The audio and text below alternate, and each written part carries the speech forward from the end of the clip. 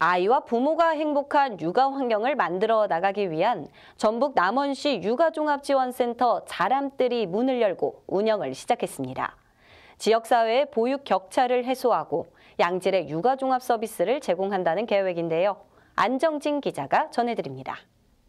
전북특별자치도 남원시가 지역사회 내 육아 지원을 위해 건립한 남원시 육아종합지원센터 자람들이 지난 5월 30일 개관식을 갖고 운영에 들어갔습니다. 이날 개관식에는 최경식 남원시장, 전평기 남원시의장을 비롯해 시도 의원들과 한국보육진흥원장 등 100여 명의 대회빈이 참석해 남원시 육아종합지원센터 자람들 개관을 축하했습니다. 양질의 육아종합 지원 서비스를 제공해서 아이와 부모가 행복한 육아 환경을 조성해 가겠습니다. 남원시 육아종합지원센터는 2019년 보건복지부 건립 승인 및 국비 지원을 시작으로 조산동 부지에 총 사업비 92억을 투자해 지하 1층, 지상 3층 규모로 건립되었으며 실내에는 영유아의 건강을 위해 친환경 소재, 공기, 정화 식물들을 곳곳에 식재했습니다.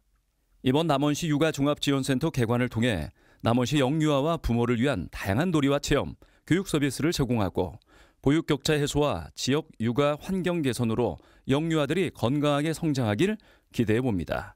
복지TV 전북방송 안정진입니다.